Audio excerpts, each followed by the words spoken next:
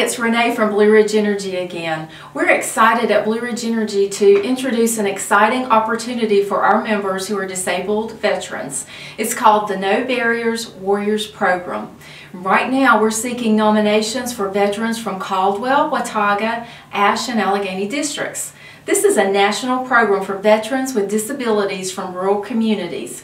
It's designed to help these vets challenge themselves, overcome barriers, and learn that what's within them is stronger than what's in their way.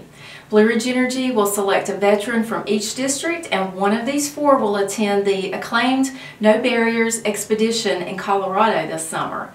They'll enjoy activities including mountaineering, rafting, and rock climbing. Our three other vets will attend a special four-day inspirational summit in Lake Tahoe. Nominations are due by February 15th, and members can nominate themselves or someone they know. Blue Ridge Energy is using our own employee veterans to review applications and select our four winners.